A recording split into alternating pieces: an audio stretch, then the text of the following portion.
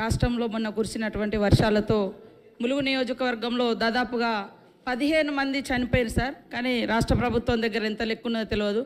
కొండాయి అనేటువంటి గ్రామంలో ఏడుగురు ముస్లిమ్స్ ఒక ఆదివాసీ కుటుంబం.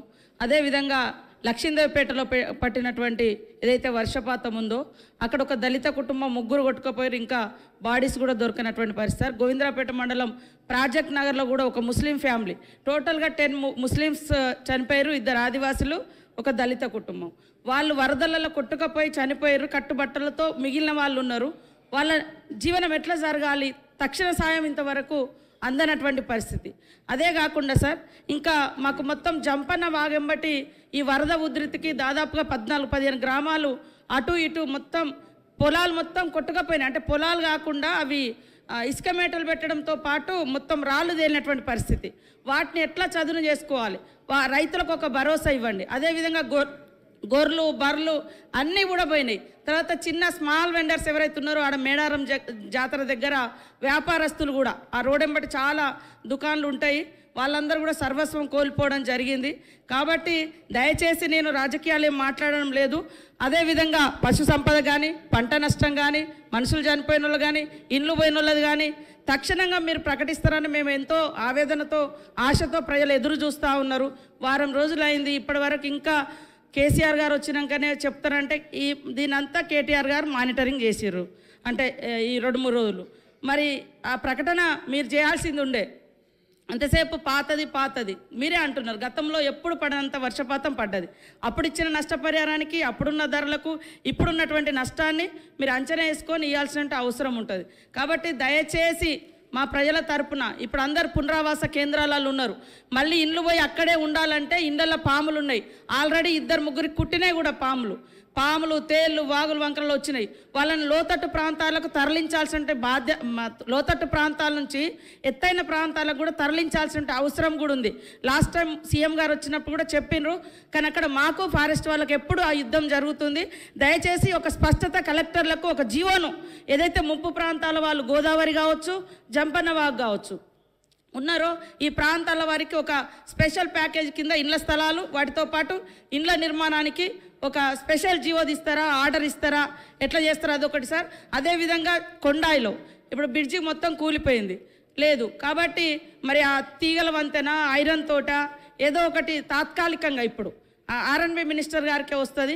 అక్కడ కూడా రోడ్ శాంక్షన్ ఉంది కానీ ఫారెస్ట్ వాళ్ళు ఐదేళ్ళ నుంచి చేయనీయట్లేదు. అదేవిధంగా ఎలిశెట్టిపల్లె సార్ ఆ ఊరు కూడా ఊరు చుట్టూ వరదలు వస్తే మాకు కంపల్సరీ హెలికాప్టర్ కావాల్సిందే. మీరు ముందే రెడ్ అలర్ట్ ప్రకటించారు.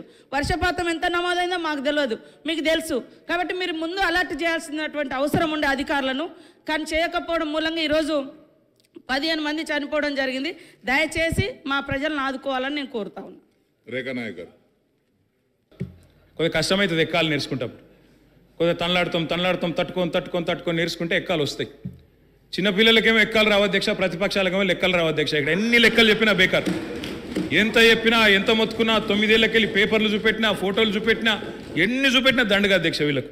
అధ్యక్ష ఇంకొక మాట నేను చెప్పాలి అధ్యక్ష ఇవాళ బట్టి విక్రమార్క గారు మాట అన్నారు. మేము ట్యాంకరే ఆర్డర్ చేయలే అన్నారు. అధ్యక్ష నేను వెంటనే తెప్పించిన. డేటా ఉంది ఇప్పుడే చెప్తా. ట్యాంకర్ రోజు ఆర్డర్ చేస్తాడు ఆర్డర్ చేయలేదు కదా రోజు చేస్తా అన్నాడు మా అన్న. అధ్యక్ష నిజంగా విశ్వసనీయత అనేది ఒకసారి పోతే మళ్ళీ రాదు అధ్యక్ష.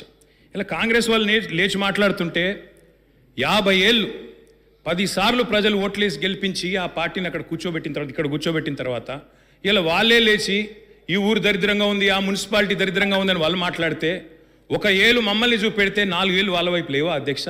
మాట్లాడేటప్పుడు ప్రజలు ఏమనుకుంటారో? అసలు ప్రజలు కనీసం ఆలోచిస్తారా ఆలోచించారా? నవ్వుకోరా వీళ్ళని చూసి అనే కనీసమైన ఆలోచన ఉండాలి కదా అధ్యక్ష? ఏమాత్రం లేకుండా విశ్వసనీయత అనేది ఎన్నడో పోగొట్టుకున్న పార్టీ ఇలా ఇక్కడికి వచ్చి హడావుడి హడావుడిగా ఏదో ఊకదంపుడు ఉపన్యాసం ఇచ్చి నాలుగు మాటలు మాట్లాడి బయట ఒక ఆయన మా మీద నిందలేస్తుంటే ఆ నిందలు మళ్ళీ ఇక్కడ ఉటంకించి ఆయన ఈయన పోటీ పడుతూ అధ్యక్ష వీళ్ళని చూస్తే నాకేం గుర్తొస్తుంది అధ్యక్ష? అంటే వీళ్ళ పోటీ చూస్తుంటే వెనకటికి పాకిస్తాన్ క్రికెట్ టీం ఉంటుండే అధ్యక్ష. ఆ పాకిస్తాన్ క్రికెట్ టీంలో ఆడేటోళ్ళు పదకొండు మంది. పదకొండు మంది ఆడతారు అధ్యక్ష క్రికెట్ టీంలో. కానీ కెప్టెన్ ఒకటి ఉంటే టీంలో పదకొండు మంది ఎక్స్ క్యాప్టెన్లు ఉంటారు అధ్యక్ష అందులో ఇలా వీళ్ళ దగ్గర ఇక్కడ నలుగురు ఎమ్మెల్యేలు ఉంటారు. వీళ్ళు నలుగురు ఇక్కడ కూర్చోరు. ఒక దగ్గర కూర్చొని పని చేయలేరు. కానీ నాలుగు కోట్ల మందిని పరిపాలిస్తామని బయటికి బయలుదేరింది అధ్యక్ష వీళ్ళందరూ కలిసి. వీళ్ళు ఉన్నది నలుగురు కానీ బయట మాత్రం పది మంది ముఖ్యమంత్రి క్యాండిడేట్లమని ఒకలకోలు ఒకలకోగలు పోటీలు పడుతూ ఒకల మీద ఒకలు అరుపులు గావు కేకల మీద పిడబొబ్బలతోని ప్రతి ఇవాళ ప్రభుత్వం మీద దాడి చేసి ఏదో రకంగా నేను నా ప్రతిష్ట పెంచుకోవాలనే ప్రయత్నం. అధ్యక్ష విశ్వసనీయత అనేది ఒకసారి పోతే రాదు అధ్యక్ష అంత ఈజీగా. ఆ పార్టీ ఎప్పుడో క్రెడిబిలిటీ కోల్పోయిన పార్టీ. ఎక్స్పైరేషన్ డేట్ దాటిపోయిన మందు అది. సచ్చిన పాము ఆ పార్టీని పెద్ద పట్టించుకోమ అధ్యక్ష కానీ చెప్పాలి అధ్యక్ష. ఆ పార్టీ ఖచ్చితంగా సచ్చిన పాము కోరలు తీసి పీక్ పారేసిన ప్రజలు ఎప్పుడో చచ్చిపోయిన పాము అది. కానీ ఏదో ఊహించుకుంటున్నారు. పక్కింట్లో పెళ్ళైతే ఊరు ఇక్కడ హడావుడి అన్నట్టు అదేదో. ఆ టైప్లో పక్కల కర్ణాటకలో ఏదో వస్తే ఇక్కడేదో జరుగుతుంది ఇక్కడేదో జరుగుతుందని మా శ్రీధర్ అన్న మా బట్టన్న ఇంకా కాంగ్రెస్లో ఉండే సోదరులు ఊహించుకొని ఏదేదో అనుకొని రేపు నాకా పదవి నీకీ పదవి ఇప్పుడే. సీతక్క గారు ఆల్రెడీ సీతక్కని సీఎం చేసిండు ఆయన. ఇక అధ్యక్ష గమ్మత్ గమ్మత్ నడుస్తుంది అధ్యక్ష మళ్ళీ తర్వాత కోమటిరెడ్డి గారు జోక్ అన్నాడు. సీతక్క సీఎం ఏంది? జోక్ అన్నాడు ఆయన మరి వాళ్ళదేందో వాళ్ళకి తెలియదు నాకు తెలియదు అధ్యక్ష ఎక్కువ చెప్ప. కానీ వాస్తవం ఒకటే అధ్యక్ష అవునమ్మా మీరు మూడు నెలలు వస్తారు కదా నాలుగు నెలలు వస్తారు కదా. మరి మమ్మల్ని అడుగుడేందుకు అన్నిగా నాలుగు నెలలు వచ్చేటోళ్ళు అడుగుడేందుకు మరి అధ్యక్ష అధ్యక్ష వీళ్ళ విశ్వసనీయత ఎప్పుడు పోయిందంటే రెండు వేల నాలుగులో చెప్పిన అధ్యక్ష వీళ్ళు. తెలంగాణ ఇస్తున్నామని. పదేండ్లు పెండింగ్లో పెట్టి వందల మంది ప్రాణాలు తీసినాడే ఆ రోజే వీళ్ళ అడ్రస్ గల్లంత అయింది అందుకే పద్నాలుగులో పద్దెనిమిదిలో ప్రజలు తోమి తోమి అక్కడ కూర్చోబెట్టిన అధ్యక్ష మళ్ళీ ఇక్కడికి రానిచ్చే పరిస్థితి లేదు. ఏదో ఊహించుకుంటున్న అధ్యక్ష ఊహించుకోనండి మాకేం పర్వాలేదు. కానీ అధ్యక్ష వాస్తవం ఏంటి అంటే ఈరోజు రాష్ట్రంలో ఈ తొమ్మిదేళ్ళలో గౌరవ ముఖ్యమంత్రి కేసీఆర్ గారి నాయకత్వంలో ఒక్కొక్కటిగా ఒక్కొక్కటిగా పనిచేసుకుంటూ పోతా ఉన్నాం అధ్యక్ష. శిథిలం నుండి శిఖరం వైపు విధ్వంసం నుండి వికాసం వైపు అగాధం నుండి ఆకాశం వైపు ఈ తొమ్మిదేళ్ళ ప్రగతి ప్రస్థానంలో మౌలిక సదుపాయాలను ఒక్కొక్కటిగా ఒక్కొక్కటిగా చేసుకుంటూ ముందుకు పోతా ఉన్నాం. అధ్యక్ష అధ్యక్ష ఒక ప్రాంతం ముందుకు పోవాలన్నా పురోగ పురోగమనం దిశగా సాగాలన్నా ఒక రాష్ట్రం రాకెట్ వేగంతో ముందుకు దూసుకొని పోవాలన్నా ఒక దేశం అభివృద్ధిలో అగ్రగామిగా ఎదగాలన్నా మూల మంత్రం మౌలిక సదుపాయాల దీక్ష మౌలిక సదుపాయాలంటే ఏమైనా చెప్తారేమో అనుకున్నాను అధ్యక్ష. మౌలిక సదుపాయాలంటే కేవలం పల్లెలు పట్టణాలే కాదు. హౌసింగ్ మాట్లాడొచ్చు ఆర్ అండ్ బి మాట్లాడొచ్చు. ఏదైనా మాట్లాడొచ్చు అధ్యక్ష రాష్ట్రంలో ఇండస్ట్రియల్ ఇన్ఫ్రాస్ట్రక్చర్ మాట్లాడొచ్చు. కానీ ఇందాక ఇందాక నేను చెప్పాను కదా అధ్యక్ష పొలిటికల్ బ్యాంక్రప్సీ ఓట్ల కోసమే మాట్లాడతాం. ఓట్లు ఏది మాట్లాడితే ఓట్లు వస్తాయి ప్రభుత్వాన్ని ఎట్లా బదనాం చేస్తే ఓట్లు వస్తాయి ఇదే తప్ప ఇంకో ఆలోచన లేదు అధ్యక్ష. అధ్యక్ష ఉపాధి కల్పనకైనా ఉత్పాదకతకైనా ప్రతి రంగంలో ప్రగతి సాధించాలన్నా ప్రజల జీవన ప్రమాణాలు పెరగాలన్నా మౌలిక వసతులే మూల స్తంభాలు. అందుకే తెలంగాణ సోయితో తెలంగాణ దృక్పథంతో తెలంగాణ దృక్కోణంతో రీఇన్వెన్షన్ రీఓరియంటేషన్ రీడిజైనింగ్తో గత పది సంవత్సరాలుగా పరిపాలన ముందుకు సాగుతూ ఉంది.